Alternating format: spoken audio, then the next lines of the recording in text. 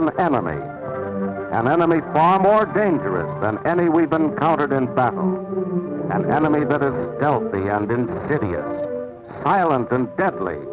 An enemy that works in the dark, in the warm, moist atmosphere of the tissues inside the human body, particularly in the lungs.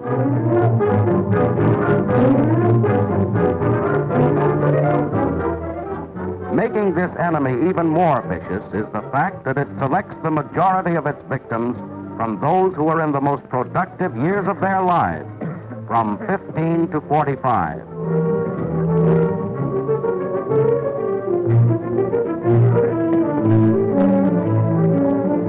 And this enemy is tireless, unrelenting.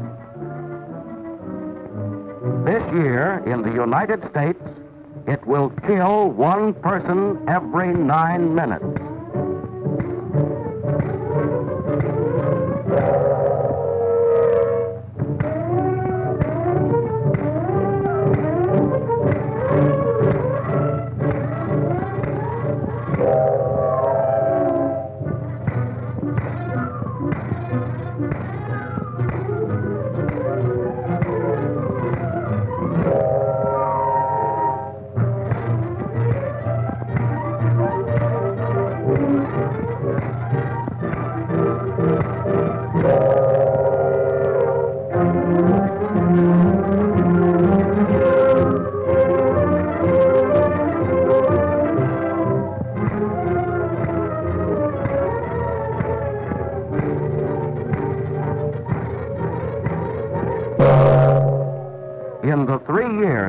Following Pearl Harbor, this enemy we've been talking about, working quietly at home, took more lives,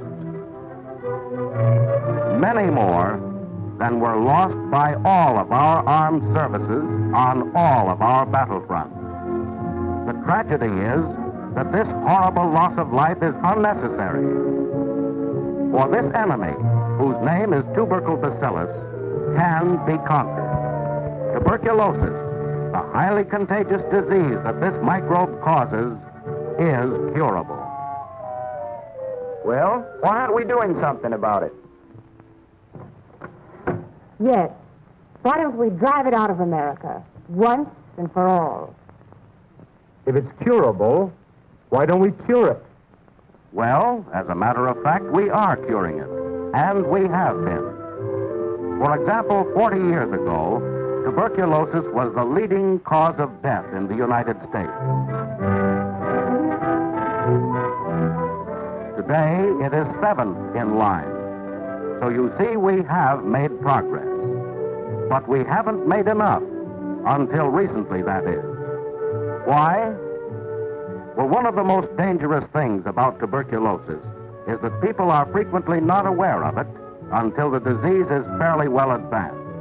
And it is in the early stages, often before there are any recognizable symptoms, that it can be treated most effectively. So the problem of curing tuberculosis is a matter of finding it, and finding it hasn't been easy when most victims of the disease don't even suspect they have it until it has really taken hold.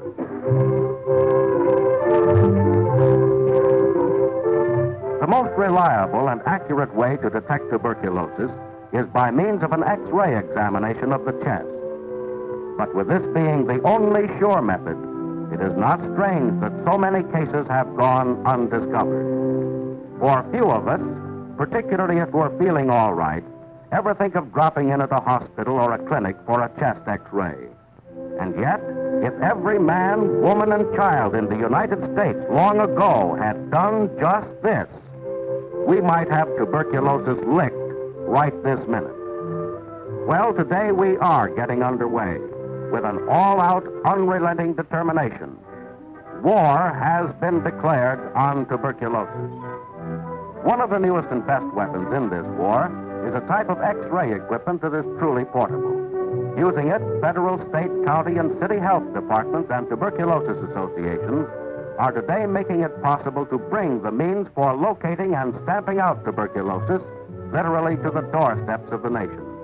In places like large industrial plants, where a great many people can be examined at one time, the equipment is set up on the premises. A portable X-ray unit will soon be coming to you here. To see just what happens, let's take a look at Eileen Brown, a stenographer. We find her entertaining some girls at her home. Did you read this thing about the X-ray business, Eileen? Hmm, read it coming home on the bus. It said one of those portable X-ray jobs will be stationed down by the firehouse all next week. Are you going to have yours taken? I guess so. Why not? It's free. And besides, I want to be sure I'm healthy. I'd hate to present Tom with a wife who was anything but 100% perfect when he gets back. Come on, chums. Here's a snack for to feed the body. Come and get it. Mmm, wonderful. I'm starved. Thank you.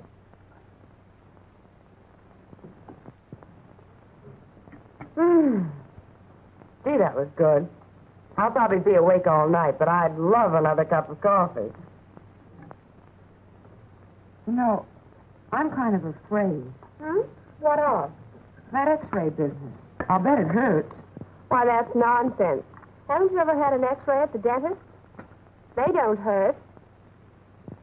One of those units came to my husband's plant about a month ago, and he had one made, and he said there wasn't anything to it. It only took a few minutes. I'm worried about another part, though. What's that? Well, suppose you do have it. Doesn't it mean that you'd have to quit work and, and go to a sanatorium and maybe get operated on and, well, you know. That's silly. It says here that if you do have it, and they let you know privately, chances are you have a mild case that can be cured by rest. That doesn't sound very grim to me. And besides, if you had it, you'd want to be cured as soon as you could be, wouldn't you? And the earlier you discover you've got it, the quicker you can be cured, it says. That sounds like sense to me. Besides, what if you do kid yourself and don't get it done? You don't expect it to go away by pretending it isn't there, do you? Eileen Brown is wise to realize that she's doing herself and others a favor by taking advantage of this X-ray service. Let's watch as she goes through the procedure. First, she supplies certain information about herself. Her name, address, age, sex, marital status, and so on. Then, in a private dressing booth, she changes into a cape that has been given her for this purpose. Now, we're ready for the X-ray. Thank you. Now we'll measure your chest. If you'll stand right over here, please.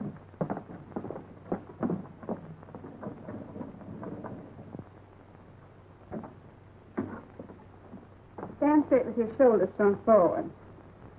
Oh, that's fine. Now don't move.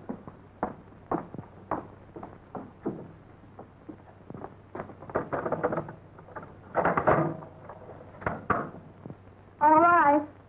Take a deep breath. Hold it. Now relax. That's all.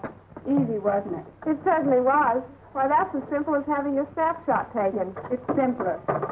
You don't have to worry about the sun getting in your eyes. Sometime later, the films are developed and then examined by a specialist.